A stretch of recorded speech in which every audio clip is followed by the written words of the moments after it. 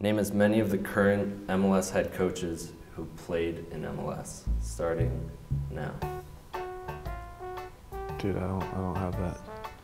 Dominic Kinnear, Mark Watson, um, oh, Petke. Uh, Jason Kreis.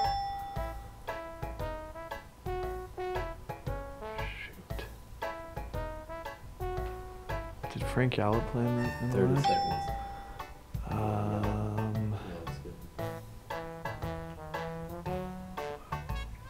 Ben Olsen, yeah, Ben Olsen. Um, Robert Warzycha, although he's not currently coaching. Sigi Schmid. Um,